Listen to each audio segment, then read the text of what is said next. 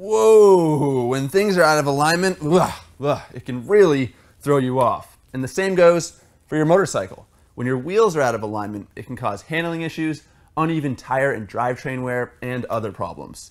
In this video from the MC Garage, I'm gonna show you three ways to check that your wheels are tracking true.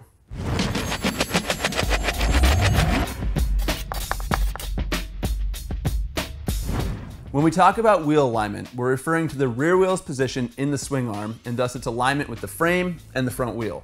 The front wheel's position is not adjustable, but the rear wheel can shift in the dropouts. That's key for chain adjustment, but it also means that the rear wheel's position can be out of whack. I know what you're thinking. You're already good about making sure that the tick marks on either side of your swing arm line up so your rear wheel is already sitting straight. But not so fast. These lines are not necessarily perfectly accurate, and more importantly, there's usually some forward and back play at the axle blocks, which can complicate things.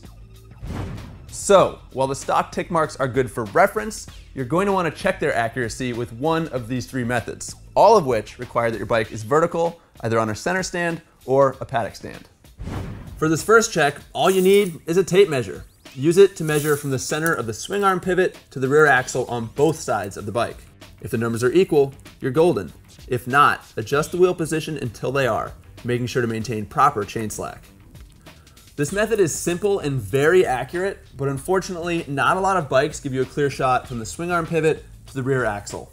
A lot of times the foot peg or the muffler or some piece of bodywork is gonna be in the way. And if that's the case, I've got another option for you. This little tool lets you visually check your chain alignment, and if your front and rear sprockets are in line, then you know that your rear wheel is sitting straight in the swing arm. To use this, you remove the chain guard, then clamp the tool on the rear sprocket and sight a line down the bike. If the rod angles off to one side, turn the axle adjusters until it runs perfectly parallel with the chain. This Motion Pro tool is one of the quickest and easiest ways to tackle this job, and for 14 bucks, it's a cheap buy. We'll put a link in the description in case you want to get one for yourself.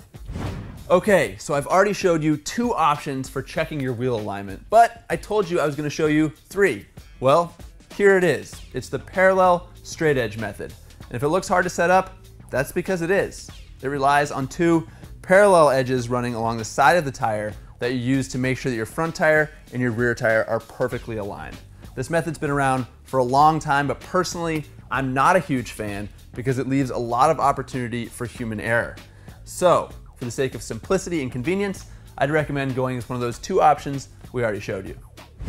Whichever method you use, once you verify that your wheels are aligned, go ahead and mark your axle blocks for quick reference later. And you can maintain chain alignment anytime you need to adjust your chain tension by turning the adjusters on either side of the axle the exact same amount. It's also worth pointing out that if your bike has a single-sided swing arm or shaft drive, you didn't need to watch this video, but we appreciate you tuning in. So, if you've got any questions, feel free to leave them in the comments section below. Until next time, ride safe.